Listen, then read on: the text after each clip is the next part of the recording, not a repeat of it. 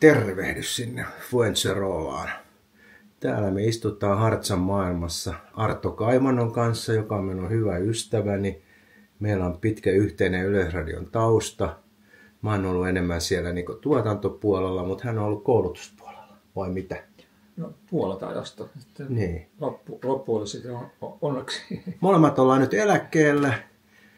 Mä nyt näitä teen näitä, teille näitä ohjelmia tässä ja jotain muutakin. Ja aina yritän houkutella vähän Artokin mukaan, kun se on niin kiireinen mies, että kun sillä on näitä kotihommiakin niin paljon, kun pitää katsoa koko omakotitalon rakennella ja korjata koko aika. Ja vaimoakin hoitaa vähän. Joo. Mutta kuten näette, tässä on Arton kokoelma pöydällä. Herra Jumala sentään mikä määrä. Ja niin kuin mitä, siellä on siis ihan 16 millisiä filmikameroita. Tässä tämä, tämä ja sitten tässä on 6 kertaa 6 tämmöinen valokuvauskamera 50-luvulta. Sitten löytyy kaita filmikameraa vanhaa. Tämä on aika, aika aseen näköinen. Joo. Ja tota, tämäkin on ollut siellä koulutuksessa. Sitten siellä on uusia 4K-kameroita näytti olevan. Sitten HD-kämejä löytyy, valokuvauskameroita, ammattivehkeitä. Sitten siellä on siellä GoProta ja sitten on niitä, oliko ne Sony niitä pieniä. Nyt on monta jo pientä. Joo, tuolla niin näyttää siellä etupäässä pöytää oleva.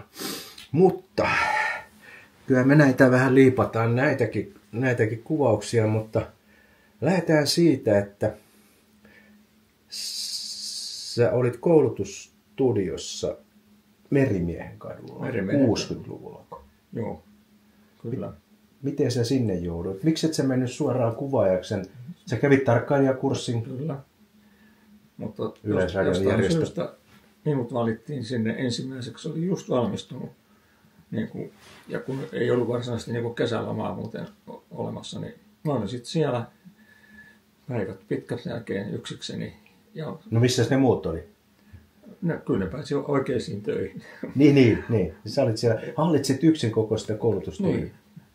Eli, eli tota, mä jopa niin kuin tanssin itse edessä ja Sä esiinnyit niiden edessä. Ja... Joo, ja sitten valaisin tietenkin ja, ja äänittelin ja to- toistelin. Kaikki, kaikki vehkeet tuli tutuksi. Kuvatarkkailuja, silloin piti vielä vääntää nappulaa. Ja Tosin oli vähän vanhanaikaisia, kun ne oli en, ensimmäisen uuden auton kamerat, mitä sinne laitettiin, koska ne oli jo niin kuin vanhanaikaisia. Ei, niin ei uutta kamaa laitettu mutta se oli koulutustudiin. sikäli hyvä, että se oli niin basic homma. Että siinä oli kyllä joka asia nappulaa. No siinä sä sait sitten kipinä tähän koulutukseen ja huomasit, että tähän on todella vapaa, vapaa niin työ tavallaan, niin, se oli, ollut? Niin, se oli niin sellainen vaihteleva ja sitten kun ku- kuitenkin joutui jo heti pitämään niin tämmöisiä luentoja tai tätä oppitunteja, niin sekin niin oli sellainen, se- ottaen huomioon, että mun oma taitoni on aika vähän, mutta oli se enemmän kuin semmoisia, jotka sitten vasta... Mutta sä kehityit siitä tietysti vuosien myötä aina paremmaksi. Ja, sitten käytäntöähän se oli pääasiassa kumminkin, eikö niin? Että sitähän sä hallitsit hyvin jo nuoresta pitäen. Hei, Mikko Niskanen, miten sä siihen tutustuit? No Mikko oli siis tota, koulutustoimien toiminnon niin, sellainen ohjaaja, että se, sen johdolla se tietysti piti luentoja, mutta sitten sen tuotantoja pystyi seuraamaan ja tulee niin kuin sitten ihmisiä. Että siitä olisi kyllä hienoja pätkiä löysin, missä Mikko, Mikko opettaa. Se, se, Sehän on tulisielu. joo, se oli kyllä aika, Se oli oikein paatoksellista opetusta varmaan. kyllä se oli sitä. Mä annan aina Yleisradiossa jotain pieniä filmipätkiä Joo. siitä, että Joo, mutta kyllähän Mikko oli mulle sikari tärkeä, että, että mä pääsin sitten seuraavana kesänä heti tekemään filkkaa. Mikko kuvasi tämän laulutulpeasta kukasta. laulu tulipunaisesta kukasta. Joo, Sehän on kuuluisa. se on kuuluisa, mutta sitten on kato, tämä on uusi versio. Joo, tehty. mutta tämä on se ihan se ensimmäinen. Ja tää- se, Onko tämä se ensimmäinen? Ei, kun tämä on toinen. Toinen oli. Tämä on, kato, värifilmi ja oikein. Ja tota, siinä oli Osmo Harkimo kuvaajana. Eli että on Jalliksen isä. Niin, ja Jallis oli laffipoikana. Oliko Jallis Laffipoika? Joo. Terveisiä vaan Jallikselle. Niin, Niin, Katohan sinäkin. Jos voisi kertoa sen, totta kai se voi kertoa. Semmoinen, joka jäi mieleen, oli se, että, että tota, se oli Klaffipoika ja sitten Niskasen tytär Marjo, Ma- tai Maria, kun se oli kumpikumpi, oli kuvaussihteeri. Ja sitten filkka-aikanahan niin kuin, tärkeä asia oli klaffin lyönti. Ja, Ja se oli sitten, tota, Jallis teki sitä. Ja sitten se oli, ai niin, tuli muuten mieleen. klaffi. No nykyaika. Klaffia pitää lyödä. Unohdin alussa. No niin. Nyt on lyöty. Ja, tota, Ei siitä klaffista näköjään nykypäivän käppästy ero. niin. Se oli tota, semmoinen kohtaus, missä tota, sitten me oltiin ulkona ja tota, ö, piti aloittaa kuvaus, niin äh, mä en ymmärrä kyllä, kuinka se voi käydä niin, että, että tota, oli kuvattu, niin sitten kuvaaja sanoi, että, että siellä on kassi kuvassa kiveen, kiveen vasta, kassi, jossa oli klaffi sisällä. Se, ei sitä ehkä olisi nähnyt siinä kuvassa, mutta se. Mikko suuttui niin perkeleesti. Se meni ja otti sen kassin ja heitti sen näin. Ja meillä- mulla meillä sydän pysähtyi, kun siinä samassa kassissa oli yksi filmikassi. Oi, oi, oi. Siis kuvattu kase. Niin. Ai, että, ei Mutta se onneksi putosi pehmeäseen paikkaan. No miten se siitä, hei, oli joku puuhun kiipeämis, kerropa se. No se, se on kova juttu se Niskasen kanssa. Iskasen kanssa. Joo. Tässä oli se, tässä laulu tuli punainen, Joo. pu- punaisesta Se- kukasta. se- se Se, oli, joo. siinä nimenomaan. Joo, nimenomaan siinä. Niin, tota, siinä oli se sellainen kohtaus, jossa sitten äh, kuvattiin laut, lauta laskee niin kuin kuohuva koskea alas. Ja, Joo. ja tota, sitten siinä Mikko halusi semmoisen yläkanttikuvan ja, ja tota, varsinainen kuvaaja ei sanonut nimeä, niin, niin ei suostunut mennä, piti mennä puuhun kiivetä kuvaamaan. Siis Mikko sanoi, että pitää mennä puuhun. Joo, sieltä hyvä kantti kuvata. Joo. Se oli siis koivu, aika paksu koivu, mutta ja siellä oli aika korkealla se ekat oksat. Ja no, sitten mut pantiin kiipeämään, joka ei ole mikään kiipeilijä enkä voimistelija. Mutta kiipesin siinä, kun käskettiin. Kiipesit ekaksi ja sitten hilasit jollain sen. Niin mulla oli naru, naru mukana, että se pudotin. Sitten niin Ja no, nostit sen kameran. Sinne. Se oli, se oli nimenomaan toi poleksi. Toi tossa. Ai se on toi, joka on tosi etualla. Siinä. No niin. Ja sitten tota, siitä tuli ihan, ihan hyvä kuva, tietty.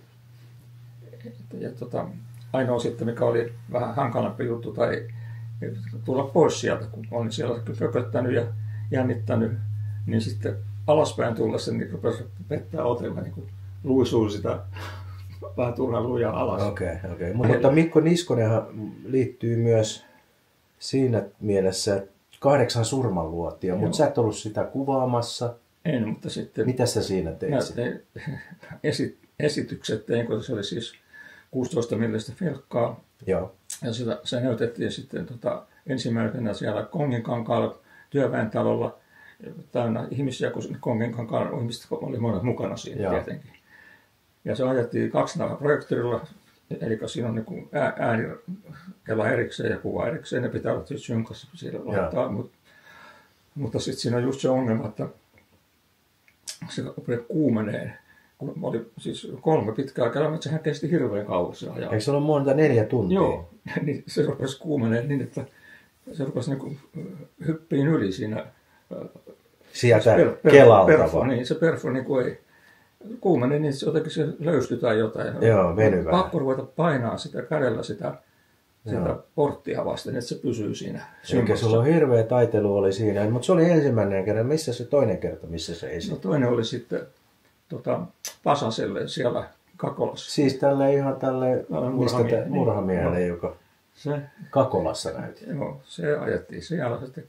Kolmas kerta oli Miten se, se reagoi se? No sitä mä en Pasa? oikein nähnyt. Mä olin tietenkin Sä olit siellä takana. sen Niin, takana. mä, niiden takana mä nähnyt ilmeitä. Eli Niskanen ja Pasan oli vierekkäin. Joo, ja mä olin se kuitenkin samassa tilassa, että Joo, mutta, mutta en edes sit- kauheasti muistaakseni puhunut. Eikä mä, Eli ne katso sen mutta- koko sen neljä se- tuntia. Niin.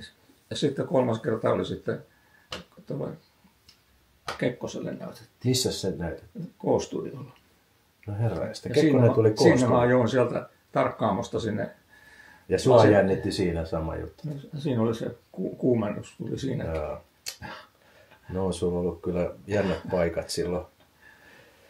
Silloin. Se sulla on noita ollut näitä toimittajia ja, ja ohjaajia erilaisia, että, että oot tämän matkan varrella. Sä oot tehnyt paljon siis myös itse kuvannut, vaikka oot ollut koulutustudiossa. Hmm. Niin kuin tämmöisiä dokumentteja ja, ja, ja esimerkiksi, onko sulla Peter von Pach Joo. On sun hyvä ystäväsi? Kyllä. Oli sun hyvä ystäväsi? Joo, joo, se- sen kanssa tehtiin sitten pitki, pitkäänkin juttuja näitä sarjoja yhdessä, mutta se oli merkittävin siinä suhteessa, että se me- meidän suhde alkoi siitä, että, että silloin juuri oli keksitty nämä kuvanauhurit ja Petteri hän keräili kaikki maailman leffat ympäriinsä ja se kuvanauha oli yksi.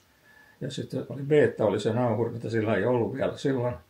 Ja sitten mulla oli suhteita erääseen liikkeeseen. Joo. Ja sitten Höri Jorma sanoi Petterille, että Arto pystyy hommaan sulle. Ai se oli Petteri, jo- jo- Ja jolle se sitten, sitten hommasin ja sen jälkeen se jatkukin. Mä oon aika moneen paikkaan rahannut Eli siitä se alkoi sitten niin teidän suhde Petterin kanssa. No se oli niin kuin ensimmäinen kontakti. Joo, ja siitä sitten, Siitä sitten. sähän teit monia näitä sen dokumentteja, kuvasit näitä, näitä sarjoja, mitä Kyllä, esitettiin. kyllä joo, ne, ja ne oli. Mitä sä sanot Petteristä niin kuin ihmisenä? Minkälainen se oli sun, kun sä olit kumminkin niin lähellä sitä? En mu- muuta, muuta kuin sanoa, että kyllä siitä että se on älykäs mies. Joo. että tota, en mä oikeastaan muuta, muuta osaa mulla tuli semmoinen kuva siitä aina, että hän oli hyvin analyyttinen ja semmoinen tehnyt kotiläksynsä hyviä ja hienosti toteutettu ne, mutta ei koskaan näkynyt sen tunnepuolta. Se oli vähän kuin semmoinen niin kuin automaatio, joka kertoo asioita. Mm. Et oliko, sillä niin kuin, oliko hän tunteikas tai vai oliko se vaan semmoinen viisas ja analyyttinen niin kuin tavallaan. Ja kyllä varmaan enemmän sinne, että, että tota, kyllä nyt varmaan naisistakin joskus puhuttiin, mutta ei, ei se Ei paljon. Niin. Joo. Et hän keskittyi siihen työhönsä ja elokuvat oli hänen intohimonsa. Joo. Eikö niin? Joo, että tosin sitten se oli just sillä äh, mä kävin Petterille sitä itse monta kertaa, kun se, sitten sen jälkeen hommattiin vaikka mitä vehkeitä samaa kautta, niin mä kävin sitten siellä kotona, että vaan tutustua siihen. Yhdellä kertaa sitten kun mä menin sinne, niin kumpi se nyt on se nuorempi niistä lapsista. Mä olin nähnyt se toisesta. Mä menin, niin se tuli vastaan, se on taapero sieltä. Joo. Sen mä muistan aina, että Pienenä. mä- Joo. tiennyt, että Petterillä oli jo toinenkin lapsi siellä. Sullahan on käsittääkseni Petteristä julkaisematonta materiaalia lähes valmiiksi leikattu do- On. oma dokumentti. On, on sitä jo. Eli tässä vinkki sinne kanssa, että siellä on TV-ihmisiäkin siinä Fuencerolassa on, että ei muuta kuin jollekin kanavalle. Täällä on Artolla ihan ainutlaatuista materiaalia. Mä oon siitä pätkiä nähnyt ja siinä on niin vähän toisenlaista Peter von Pahia. Se ei ole sitä, mitä Yleisradio virallisesti näyttänyt. Et se, on aika hyvä, tai todella hyvä siis. Ja siinähän on, lop, on, on, on, on tota, pitkältä ajaltakin käsittääkseni. Aika pitkältä ajalta. Mehän tehtiin Sodan, Sodankylässä sitten niin kuin ne luentoteattioinnit jo monta vuotta. Sä olit siellä mukana. Niin, me tehtiin jopa Yle aikana ja mä sain silloin vielä, kun me saatiin sitten mennä tietysti ilmatteeksi sinne kur- kurssin kanssa ja se oli sillä niin palvelusta vähän. Ja, Pompataan siihen kuvaajakurssiin. Niitähän oli, oliko niitä kymmenen, mitä järjestettiin yleensä. taisi olla joo. Niin tota, sehän oli hyvin ainutlaatuista, koska se oli niin kuin tämmöinen vajaa vuoden kurssi, jossa käytännön asioita harjoiteltiin. Teitte, mäkin olin siellä ohjaamassa ja harjoittelemassa ohjaamista, niin tota, palettia ja, ja kaikkia näytelmiä. Yksi, yksi tehtiin tämmöinen Ovela Kettu Opera tuolta Turun, Joo. Turusta ja, ja tota, säkin olit siinä kamerassa ja siinä oli paljon näitä kuvaaja, muita kuvaajakurssilaisia ka- kamerassa. Ja Paavilaisen Mikaela, se oli sen hänen lopputyönsä mun mielestä. Joo, Se- joo. Käytettiin sillä lailla niin kuin hyödyksi. Ja siellä on hyviä ku- kuvaajia. Siellä on esimerkiksi Rike Jokela, joka on nyt myös ohjaajana ja tehnyt paljon näitä karppia ja muita näitä nykysarjoja. Jarmo Jääskeläinen, dokumentaariohjaaja. Teit hänen kanssaan. Mi- mi- Mikä oli sun mielestä teidän niin kuin kovin juttu tai merkityksellisen No se dokumentti? Eniten jäi mieleen sitten se, jossa tehtiin tämä, jossa seurattiin tämä, tota, ää, mikä sen nimi nyt, että, siis no, se, se vankila, vankilan rajattu vapaus on se leffan nimi, mutta se kertoo siis siitä Puolan siitä tilanteesta, missä se joutui hirveästi ihmisiä vankilaan ja sitten niistä pää, pääsi niin kuin karkuun tai siis pakoon jenkkeihin aika paljon ihmisiä. Joo. Ja niitä, niitä kierrettiin haastattelemassa. Ne oli siellä niin kuin elin vapaana. Joo, ja se oli sitten vielä sellainen jännä juttu, että silloin oli keksitty nämä tämmöiset kertakäyttö-filkkakamerat, pahviset. Filkkakamera? Niin, stillikamerat. Stillikamera, niin. niin. Ja, ja tota, niitä oli sitten viety sinne vankilaan, niille, niin ne vankit oli kuvannut sieltä sitten valokuvia. Niin kuin salaa. Joo, ujutettu pois sitten sieltä. Ja. ja ne oli ensimmäinen, mikä mä sitten, silloin ei ollut, kun se oli filkka-aikaa vielä, niin ne piti vaan heijastaa, projisoida ja sitten mä kuvasin niin kuin filkalla vähän rajaten eri lailla ja vähän liikkeitä sai sinne tehtyä. Joo, joo. Ja se oli niin kuin ensimmäinen ja sitten sen jälkeen mentiin sitten niitä ihmisiä katsoa jenkkeihin. Ja se oli tota, hyvä reissu kaiken kaikkiaan, kauhean mukavia kaikki ne ihmiset, joita tavattiin. Ja ne oli tietysti siitä. Sä oot nähnyt paljon maailmaa, sä oot käynyt joka puolella. Sä oot Arno Kruunvalin kanssa, kanssa tehnyt kanssa paljon kaikkea. Arnon kanssa tehtiin myös. Oli tietysti Amerikan reissu, vai oliko se joku opintomatka? Vai? Oli, se oli, niin kuin, se oli semmoinen reissu, että se oli stipendimatka mulle. Joo. Mä en tiedä, mitä Arno rahoitti mutta me, me, mut ei, ei, kyllä sekin saa, koska me, mehän kierrettiin katsomassa niin kuin näitä televisioyhtiöitä niin kuin, ja, ja, ja miten, miten siellä niin kuin toimitaan näissä. Joo, se oli semmoinen, joo. semmoinen juttu ja se oli tietysti kauhean antoisa, kun ei ollut sitten, kun mä kuvasin tietenkin silleen, mutta ei ole mitään, niin kuin, ei tarvinnut tehdä semmoista työtä, vaan sain sitten Joo. kuunnella ja katsella ja ihmetellä, mitä siellä tehdään. Ja sittenhän sä oot kuvannut hyvin paljon näitä suomalaisia keramiikkataiteilijoita, kuvataiteilijoita. Joo. Sä oot ollut todella, sä oot ollut ton äh, Ahtiala, mikä tämä nyt Joo, ei Elisa. Ei, ei Elisa Ahtialan näitä niitä miksi videoinstallaatioita on ollut. Joo, niitä on aika monta kanssa tehty. Eli mikä, mikä sun uras on niin silleen kovin juttu, mistä sä oot kaikkein eniten ylpeä? mitä sä oot tehnyt. Sä oot tehnyt niin hirveästi kaikkea. Pystytkö sä sanoa? Joo, siis se on se Puudomanjärven juttu, mutta mä en muista sen nimeä. Ohjaajana oli... Tapio Piirainen. Sama, joka Raidin ohjasi. Joo. Ja sitten mä muistan, että teitte kovan se oli, se oli Puudomin legenda sillä nimellä. Puudomin... Puudomin legenda. Legenda, joo, joo. koska sitten ei koskaan tiedetä, mitä siinä on tapahtunut. Niin, joo. Ja tota, se oli niin kova että kun mä katsoin, niin kun se oli hienoa mustavalkoista kuvaa. Te jotenkin, te teitte varmaan värillä, mutta muutitte sitten sen jälkikäteen. Joo, se muutettiin jälkikäteen. Se, se, se onnistui erittäin hyvin, siitä tuli Joo. tosi hyvä, koska eikö siinä ollut vähän sitä vanhaa materiaalia myös mukana? Joo, ei, ei ollut vanhaa. Ei ollut, se oli, ei. mutta niin tuli se tunne. Se, tunne, se on, Joo. se on kato, se oli, oli aika tärkeää just ne fiiliskuvat, ne tehtiin niin kuin ensin. Joo. Niin kuin, kun siinä tavallaan kävi paikalla, minkä itse tiesi, tässä on tapahtunut tämmöistä, niin siitä, sen näki semmoiselle silmillä, että tämä näyttää vähän karmeelta tämä paikka. Joo, joo. se tunnelma tuli siinä, niin. joo. No miten sitten, tota, mitä, mit, mitä, mitä kamerakehitystä tai tämmöistä niin kuin TV-maailman teknistä kehitystä sä pidät niin kuin merkittävimpänä? No ennen kaikkea, että se on halpaa nyt tehdä sitä, että vertaat filkka-aikaan niin tota, se on aika kallista, jos itse harrastat, niin, niin kehityttää ostaa filmiä. Ja sitten varsinkin se, että se on, rajoittaa sitten, kun ei voi niin kuin mässäillä sen kanssa. Mutta onko se edelleen niin, että kun sitten kumminkin isoja elokuvia tehdään filkalle, että se kumminkin se jälki on edelleen vähän toisenlaista? No, sekin on kyllä totta, kun mä just kattelin kanssa tuosta niitä, vaikka ne on siirretty videolle, niin siinä on kuitenkin joku semmoinen syvyys vähän siinä niin. semmoinen tunne, että niin. se ei ole niin kuin näin, vaan se on niin kuin tämmöinen. Joo, joo, se on kumma. Siitä tulee se oma henki. Joo. Onko se vanha ajan tunnelma? Se olisi kiva tietää noista nuorista alle kaksikymppisistä, miten ne reagoi, kun niillä ei taas ole semmoista kokemusta isota, niin. että onko niin. tämä meidän taas tämmöistä. Mutta ei se varmaan ole, koska sitä edelleen tehdään filmille. Joo. Onko se, mikä se oli se iso filmi? Oliko se 65 millinen vai mikä se oli, millä Ben Hurkin on tehty? Joo. Se Joo. Sehän oli ihan mieletöntä se kuva. Joo, se on tietysti sitä, sitä voi sitten heittää vaikka minkä kokoisen kankaan täyteen. Se, on, se, on, se on, sitä on tullut telkkarista joskus jotain niitä, niin ja. kyllä se niin kuin kaiken digitaalissa, digitoinnin jälkeenkin on ihan ainutlaatuisen näköistä filmikuva. Ja kyllä ne vanhat filmi- ja elokuvat on kyllä niin, että joku niissä on se tunnelma. Joo. Siitä vilkasta vielä se, oli se sitten valokuva tai elokuva, niin jotenkin se materiaalin kalleus tai se vaikuttaa siihen, että sä et rupea räiskimään. Sun täytyy käyttää Suunnitella etukäteen. Suunnitella ja sillä että ei paina yhtään turhaa sitä nappulaa. Se on tämmöinen kaitafilmin kamera.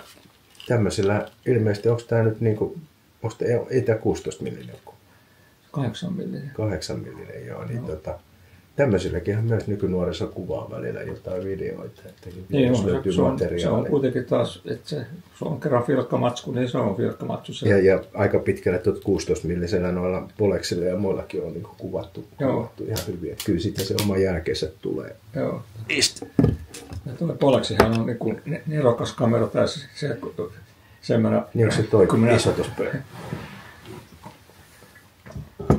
No, Kato, mä pidin sitten Tää on Polex. luentoja toimittajille ja, ja niin kuin kuvauksesta ja mä tietenkin sitten rupesin vähän filmin puoleen. Mä sa- sanoin, että, että etsikääs nyt sitä, kun että atomisotakin tässä lähettyy ja on näitä videokameroita ja muuta, mutta jos sulla on Polexi ja filmiä, niin ei lopu sähkö. Onko siinä sellainen kampi, jolla... Vieteriveto. Niin, niin, niin. Tämä on niin kuin Eli jos panee, panee Venäjän sähköt poikki, niin me voidaan kuvata se- historiaa. Että sieltä haudasta noustaan sitten sit kuvataan. Okei. Tämä oli se, No niin. oli se varmaan Onhan tämä hienoa tekoa. Tämä on täysin mekaaninen Joo. laitteisto ja tosiaan vielä veivi, millä saa sen niin kuin pelaamaan. Joo. Vieteri, niin kuin sä sanoit. Joo, se, Se pyörittää sitä nauhaa. joo, se on kyllä aika jännä. Sehän on myöskin samanlainen se toinen, sekin on vietervetoinen se, se veijä. Mikäs tää nyt? Se on samanlainen 16 millinen, mutta siinä on tuota, Belhovelin. Joo, se on aika jännä, kun siinä on nyt erikseen niin tämä, millä katsotaan niin kuin luuppikuva, että pitää olla niin kuin oikeassa kohtaa, että se vastaa sitten näitä optiikan pit- pituuksia. Ai niin, se tulee täältä. Niin. Täältä katsotaan. Toi on- Ei, sehän näyttää ihan... Eilakin on ihan itsensä näköinen. Joo. Joo. Hyvältä siinä- näyttää. Siinä on tämmöinen vieteri, jota oikein kunnollinen. Ai siinä on sama juttu. Joo, sama juttu. Ja tämä on tota, sikäli jännä, että tämä on, tämä on tota, mä voin nyt sanoa, että mä oon nyt kyllä vähän niin kuin varastanut tämän, mutta se, Ei me, se sai- ole me saatiin tota, jostain.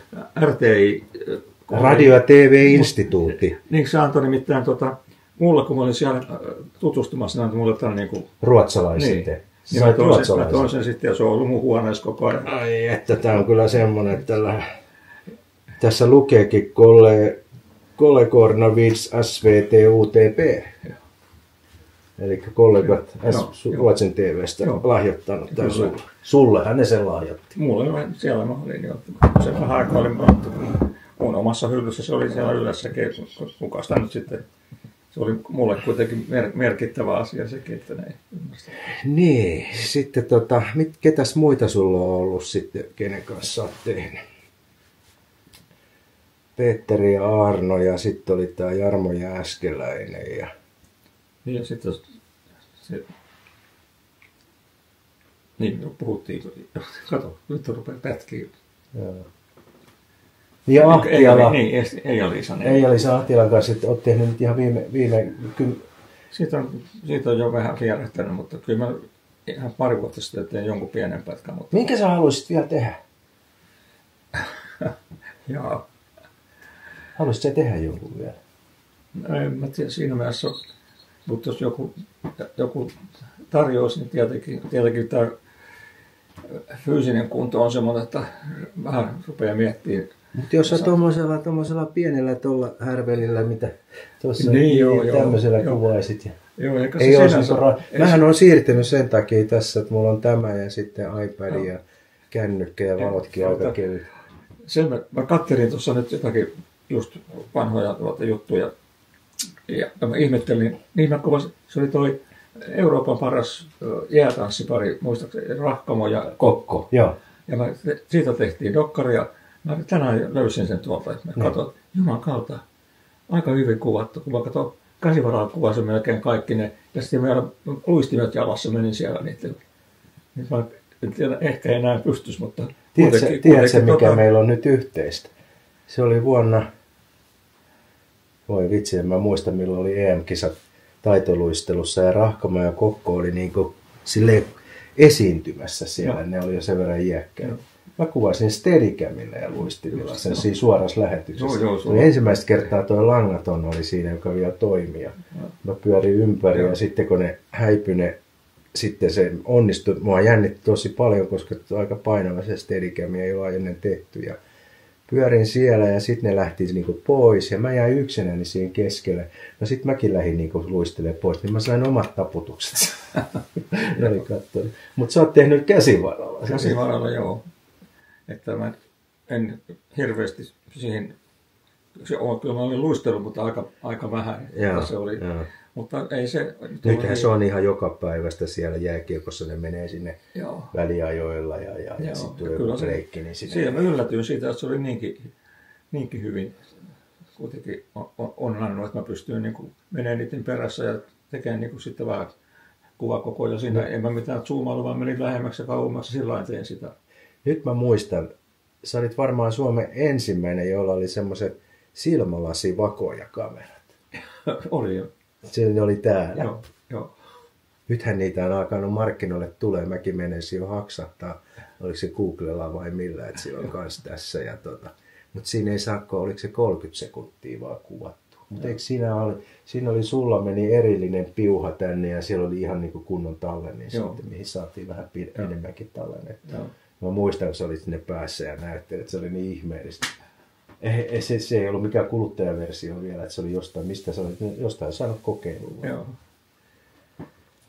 Mehän te, pidettiin siellä paljon, mäkin olin sun kursseilla paljon siellä ja siitä Steadicamin kursseja Amerikasta tuli, niin sä olit aina niin vetäjänä niissä kursseissa tavallaan niin sen Radio TV-instituutin puolesta. Ja...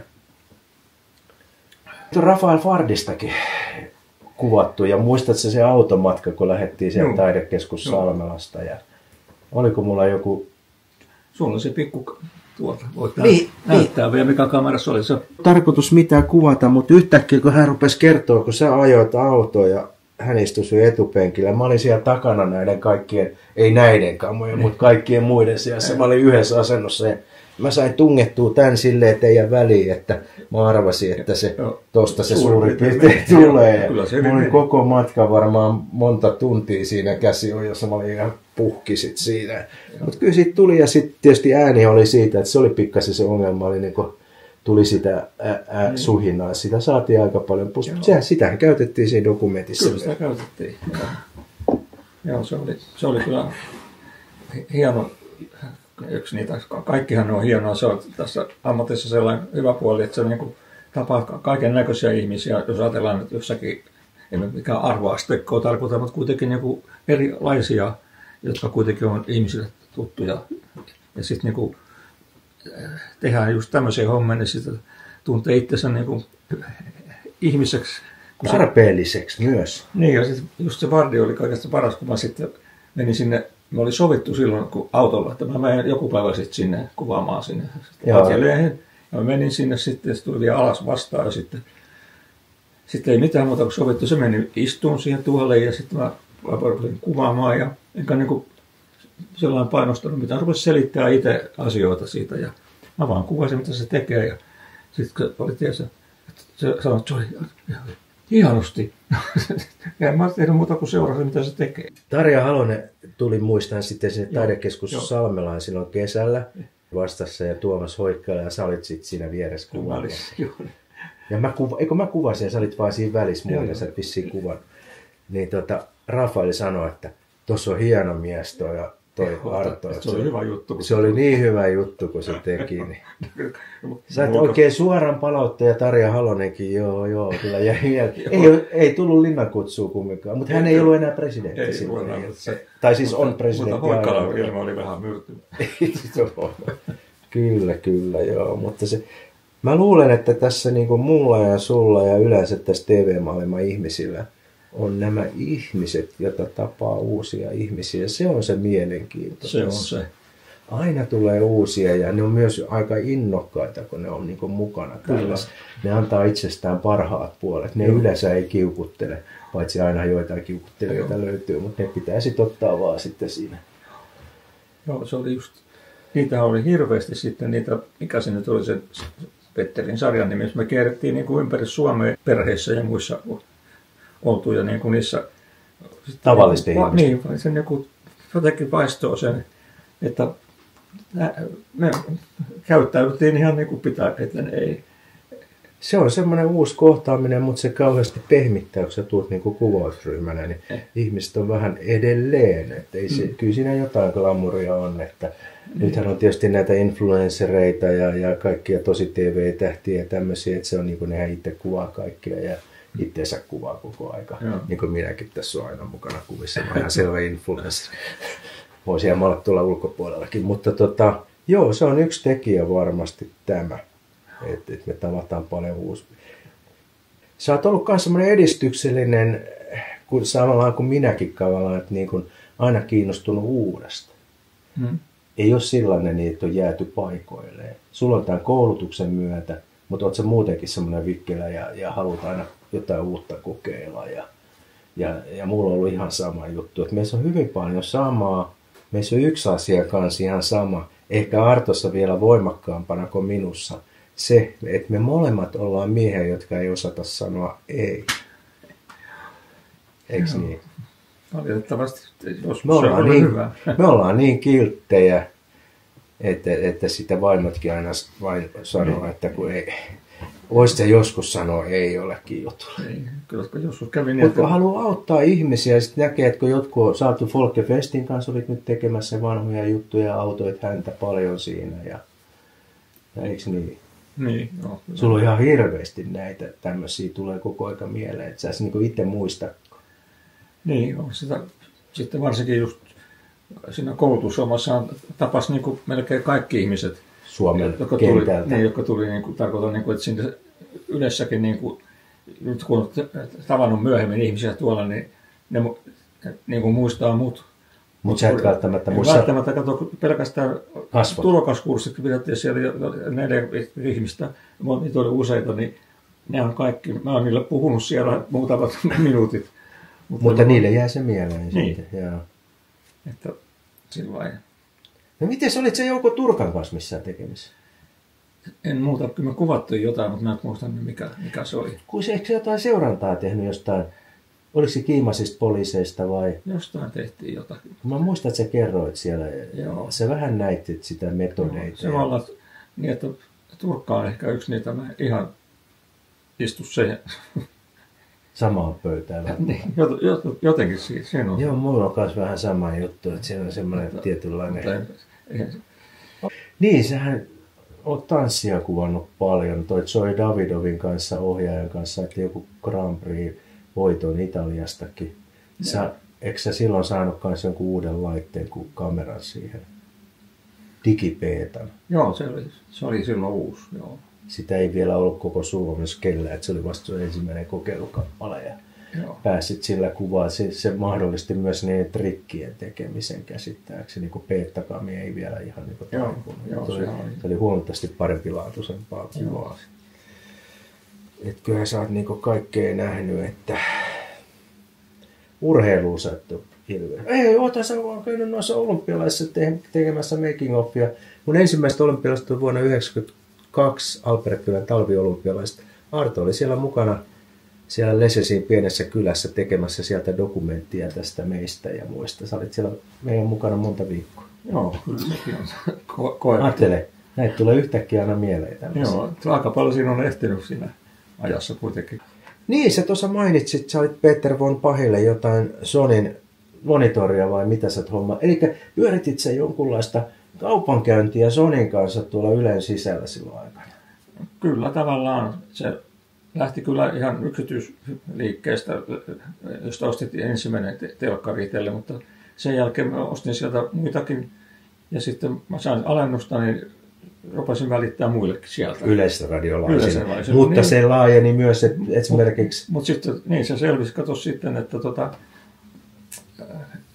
että Sonille, Sonille meni siitä sitten myöskin sillä viesti, että mä, kun mä hain niin sen kaupan nimissä sieltä, niin sitten sanoin, että miksi sitä se kierrättää sieltä, että... Saat suoraan Sonilta. Niin, ota sieltä. Susta mä muistan, susta tuli semmoinen, että kaikki aina, jos oli Sonin kanssa, hei soita Artolle, sä saat kumminkin paremman alennuksia kuin mistään muusta. Ja siihen aikaan Sonista ei saanut yleensä alennuksia, Joo. kun oli niin kova merkki, Joo. joka on edelleenkin hän sun kalleimpia. Joo. Niin tota, mutta siinä on hauska juttu, kerro siitä. Jäitkö sä kiinni siitä, kun sisäinen tarkastaja soitti? Kerropa se. Niin, no sitten yhtenä aamuna puhelin soi ja sitten siinä No, että joo, tästä sisäisestä tarkastusta sanoi nimessä päivää, että mulla olisi vähän asioita. Niin, Kuul, on kuullut, että sä välität noita Sonin laitteita. Että niin, juu, juu. Niin kato, mä tarvitsin televisio. Niin, miten se sanoit? niin, että mä tarvitsin yhden television. Se on, Niin, että se oli vaan se ja sä olet ihan niin. Olen niin kuin kauhuissana, että nyt... kauhuissa, että se nyt mä jäin kiinni ja nyt tuli potkut koko Yleisradiosta. Joo, se oli niin kuin sellainen... No, mutta toi kertoo susta paljon kanssa. Sähän kävit ne asentamassa heille. Kyllä. Sitten se vähän laajeni jo pyykinpesukoneisiin. Ja astianpesu. Asensit niitäkin. Esimerkiksi mä oon laittanut astianpesukoneet tuolle Molberille, Raulille. Aa, Mä oltiin siellä kato kuvaamassa sitten myöskin. ja En muista, se oli siihen, mikä se, mikä se leffan nimi itse asiassa teki viimeksi. Ah, nyt en muista sitä. Joo, no joo. kuitenkin sitä varten oltiin siellä. Oltiin vielä yötä siellä. joo. Ja tuota, sitten käytiin hakemassa, hakemassa Tampereelta, se Tampereella on se liike, että se oli lähellä sitten hakea. Niin ja sitten sä oot käynyt Lasse Pöystille asentamassa. Mitä sä sille Juu, asensit? Kyllä, sille Lasse Pöysti halusi jo tilata jonkun radion, mutta mä en pystynyt, se oli joku Erikoismalli. Joku semmoinen ihme. Ei, ei. Joo, sitä ei löytynyt Juu, sitten sieltä. kanssa. Kyllä. Ja aika moni oli, ja esimerkiksi Irina Milania ja löytyy täältä Petterin kautta tuli sitten näitä. Oot vähän, mun tulee nyt mieleen tästä, mitä mä ajatellut, tämä Hartsamaailmaa myös haastatelta. On tuolla Jaska, Jaskan grillin tämä Sna, Snagarin Joo. myyjä, myyjä tämä, tota, kun hänellä on ne nimikkoannokset, se on tavannut kaikki ihmisiä, niin sulla on vähän sama tämä, että sä oot noiden Sonic-tavaroiden kautta niin kuin, tavannut ihmisiä, Joo. joita sä et olisi välttämättä tavannut, ja suuri osa oli myös julkiksia, sen Niin. ajan julkiksi. Joo. Joo, että ei siitä ole mitään negatiivista sanottavaa. Mutta sehän oli ihan positiivinen juttu siis kaikille. Niin on, on se sitten kuitenkin ihmiset on tyytyväisiä, jos ne saa vähän halvemmalla ja sitten No. vielä kun siihen tuli mukaan se asennus, että tuotiin kotiin. Tässä muuten voidaan sanoa, että sisäinen tarkastajakin on ihminen. Hänkin tarvitsee telkkareita ja muita vähän alennuksella.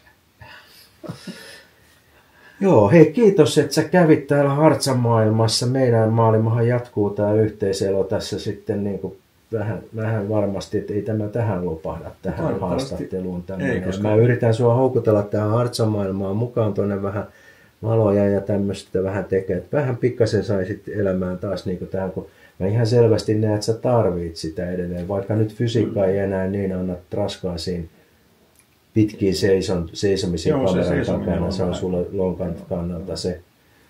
Mutta tota, nyt on joulut lusittu ja, Joo, ja tota, ei muuta kuin uutta vuotta kohden. sitä Paljonko sä ensi vuonna täytät? Se, ja, 79. Eli sä oot nyt 78. Ja mä oon 65, siitähän mä oon mainostanut monet kerrat. Tässä se näkee. Kaksi kuvaajaa ja tavallaan TV-maailman ihmistä kun kohtaa, niin tällaiseksi tämä juttu menee. Toivottavasti teille Fuenzaro suomalaisille tästä olisi jotain mielenkiintoistakin kuultavaa. Ja ei muuta kuin näkemisiä. Ja onko sulla jotain noille sanoa? Oletko sä käynyt Fukessa itse? Että tainnut. En ole ihan varma. Hei, tässä on semmoinen juttu. Nyt me voidaan tehdä niin, että nyt on meidät, voitais, voisitte kutsua meidät kaksi, niin me voitaisiin kertoa lisää näitä tarinoita sellaisia, mitä, mitä ei voida edes niin tämmöiseen laittaa julkisesti, vaan yksityisesti. Moikka!